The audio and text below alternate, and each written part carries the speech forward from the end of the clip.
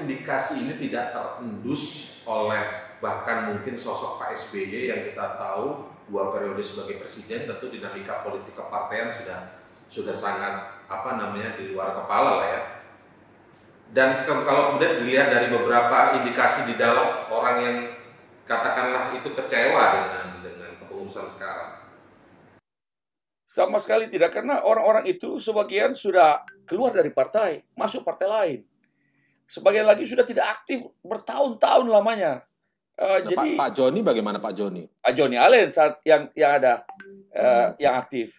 Memang kalau kita lihat di dalam semua partai ada segelintir orang yang kira-kira memang sedang cari-cari kesempatan jadi broker-broker politik. Oh.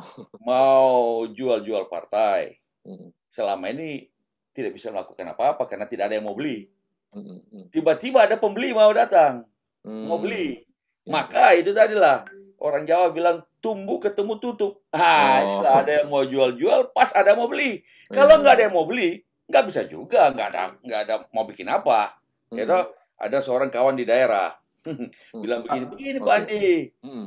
Mungkin kawan-kawan itu seperti saya aja, urusannya ekonomi. Maksudnya apa Pak? Kawan di daerah bilang begini Pak, saya ini sudah lama mau jual jual ruko saya, hmm. tapi nggak laku-laku.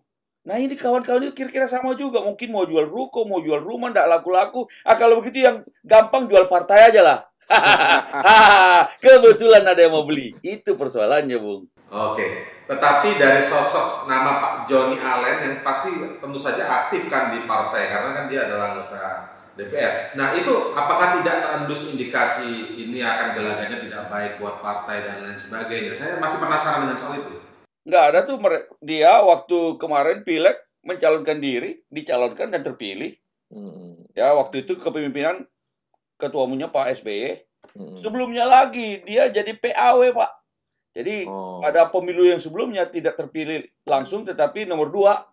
Lalu kemudian waktu itu minta juga kepada ketua umum waktu itu Pak SBY supaya di uh, jadikan pergantian antar waktu. Jadi juga artinya oh. dia mengakui kepemimpinan Pak SBY, Hmm. Dia mengakui kepemimpinan yang sah, hmm. lalu kemudian jadi anggota dewan, ditempatkan di tempat yang terhormat. Jadi nggak ada kita tahu, nggak pernah ada cerita-cerita, oh tiba-tiba bicara setelah 20 tahun, yeah. baru bicara soal, oh PS bukan pendiri PS, pendiri Partai Demokrat bukan Pak SB, Pak SB tidak mendirikan, Pak SB yang kami inilah segala macam.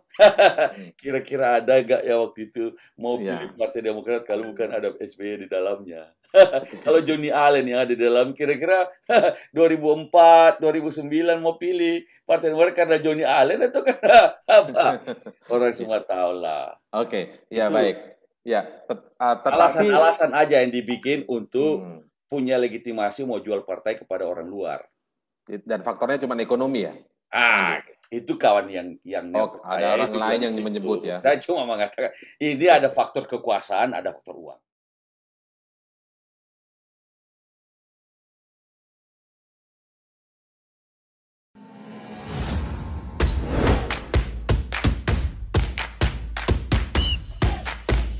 Ayam kalau diaduk-aduk jadi cair.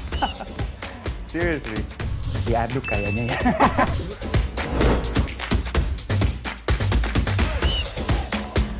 oh, perlu luar negeri gimana ya? Ini demi kemajuan bangsa Indonesia.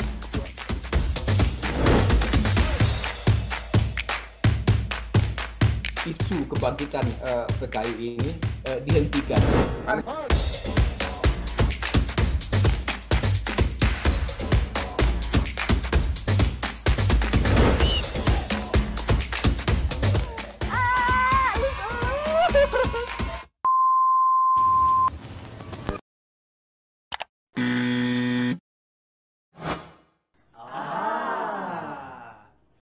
Medcom.id, a part of Media Group News.